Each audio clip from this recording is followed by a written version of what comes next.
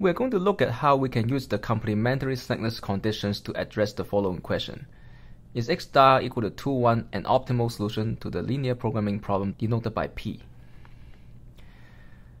To use the complementary slackness conditions, we need a dual. So let's look at the dual problem for this. And we're going to have dual variables y1, y2, y3 for the respective constraints in the primal problem and y1 can be free? Because the constraint is equality. Y2 will have to be non-negative? Y3 will be non-negative as well? So the dual problem is maximize 7y1 plus 1y2 plus 3y3 that's the objective function in the dual subject to. So the constraints are what we can get from the coefficients of each variable in the primal problem. So for the coefficient of x1, we have 2y1 minus y2 plus 2y3 and that's going to be less than root 1 because x1 is a non-negative variable. And for x2 we get the constraint 3y1 plus 3y2 minus y3 and this time is equal to 2 because x2 is not constrained to be non-negative or non-positive. And we bring this over here.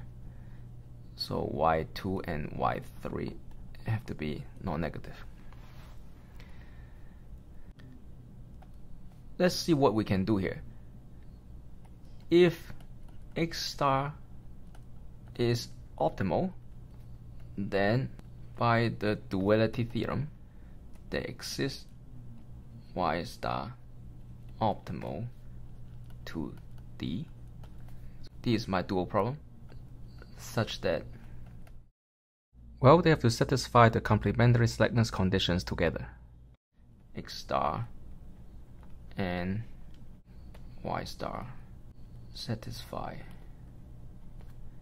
the complementary slackness conditions Okay, so what's going to happen? Well, the complementary slackness condition said if x star satisfy any of these, not with equality, then the corresponding y star value must be 0. It's easy to check that x star is a feasible solution. If we plug in x star into the first constraint, obviously it holds with equality because, well, 2 times 2 is 4 plus 3 is 7. And for the second inequality, I have minus 2 plus 3 well that's 1 so that also holds with equality at x star. What about the third inequality?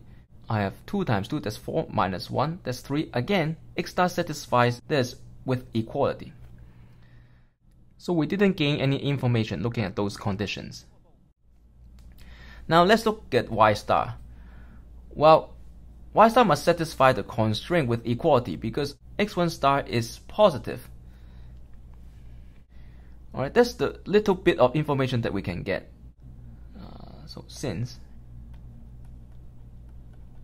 x1 star greater than 0, we must have. Okay, so this must hold. That means that y star has to satisfy this equation as well as the second constraint from D.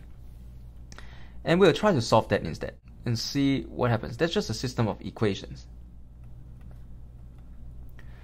So y star has to satisfy this. Of course, we also need y2 star and y3 star to be non-negative. But for now, let's focus on this system. Well, what would be an easy way to solve this? Uh, let's try to solve everything in terms of y1. So this is a system and we can have row 1 and we can do this elimination so I'm adding row 2 to 2 times row 2 to row 1 that gives us and row 2 we negate. And now let row 1 divide by 5 and row 2 be so now this is a basically reduced form. So now let's stare at this if I set y1 star equal to 0, then y2 star and y3 star can be set to 1, and both are non-negative. So set y1 star to 0, y2 star to 1, and y3 star to 1. Now let's, let's go back. What is this saying? Well, this is saying, so if we look here, y1 star, y2 star, y3 star is 0, 1, 1. We don't take the first constraint, but we take the second constraint plus the third constraint. And what does that give us?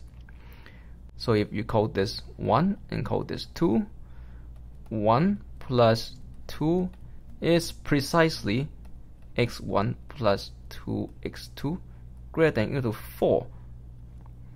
Right? But notice that x1 plus 2x2 is precisely the objective function. And 4 is precisely the objective function value of 2, 1. So this is saying that x star must be an optimal solution because every feasible solution, its objective function value has to be at least 4. But we have found one, in fact the one that we're given, has objective function value equal to 4. Hence, x star is an optimal solution to P.